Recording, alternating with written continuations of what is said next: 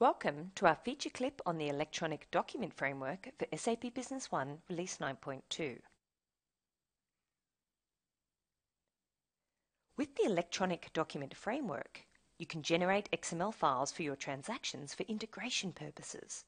It supports all accounts receivable transactions on the customer side, like quotations, sales orders, deliveries, and invoices. The Electronic Document Framework can be easily set up and in combination with an integration solution, such as the integration framework of SAP Business One, you can implement an electronic data exchange scenario. Let's review a typical business scenario. OEC computers have regular business transactions with their customer microchips.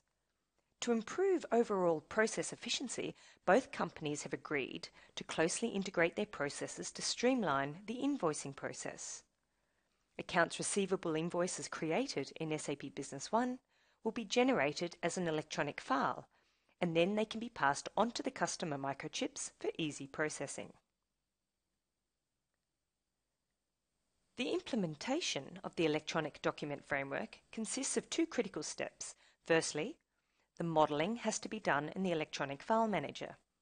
And secondly, the framework needs to be activated and several settings are to be executed in SAP Business One. As an option, you can also develop an integration scenario using the integration framework to distribute the XML file. So what does modeling with the Electronic File Manager actually mean? Let's have a look at how this works in SAP Business One. We are now logged into SAP Business One and we want to navigate to the Electronic File Manager which is an SAP add-on included with Business One. The Electronic File Manager translates the document structure from SAP Business One into the relevant target format required, such as XML or a specific bank file format commonly used by banks. To do this, we're going to navigate to Tools, and we're going to open up the Electronic File Manager Format Definition window. We're going to select a recent project that we created for this example. Modeling occurs by connecting the target and the source document fields by drag and drop.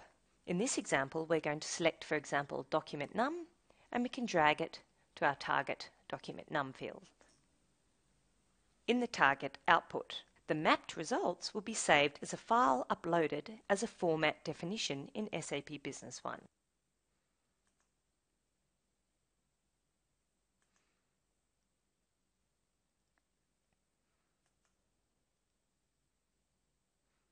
We are now going to have a quick look at the settings in SAP Business One. Firstly, we need to activate the electronic document framework and to do this we navigate to Administration, System Initialization and we select Document Settings. Under Document Settings, Electronic Documents tab, we must enable the Electronic Documents option. You can also define the default electronic document format and also the default generation type. Under default document format, we're going to define a new default document format. To do this, we're going to upload the format definition we previously created using the Electronic File Manager.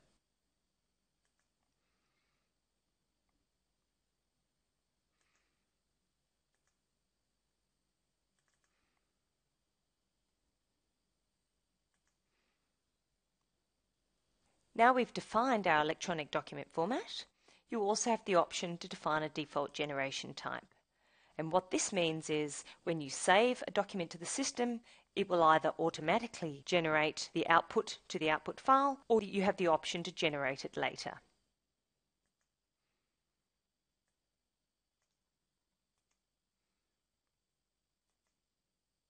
Thirdly, we need to define and activate the document number range for each electronic document output transaction type by setting the flag digital series in the document numbering window.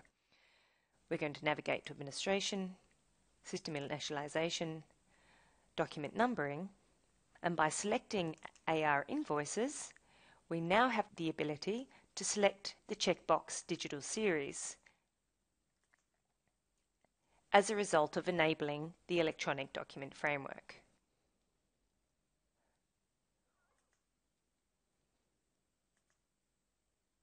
We also have to define the path settings, and to do this, we go to General Settings. We navigate to the Path tab, and we define where our XML output folder will be.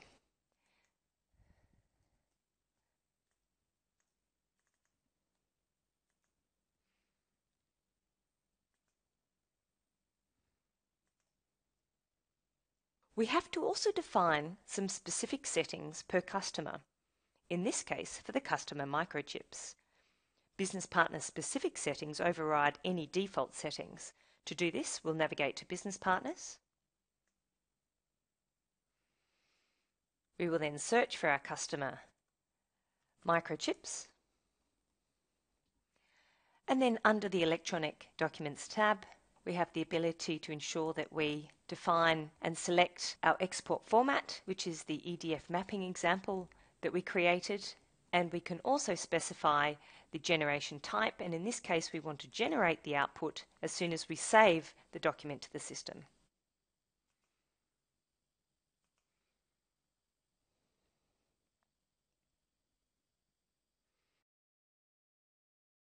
Now that we have created our format definition in SAP Business One and we've gone through the necessary settings to activate the electronic document framework, we're now going to view this scenario from the perspective of an end user. To do this, we're going to create an accounts receivable invoice in the system. We're going to begin by duplicating the last invoice posted for our customer microchips. So firstly we're going to navigate to Sales, Accounts Receivable, and we're going to open up the Accounts Receivable invoice window. If we select the last AR invoice, we're now going to duplicate this invoice for our customer microchips.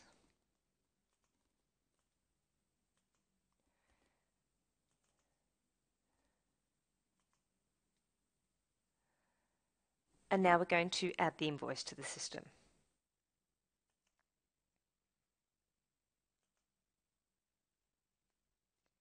Now that we have created a new invoice, and that was invoice 358, let's have a look at the output folder where the XML output is being sent. If we open up our XML output folder, we can see that an XML file for invoice number 358 has been created.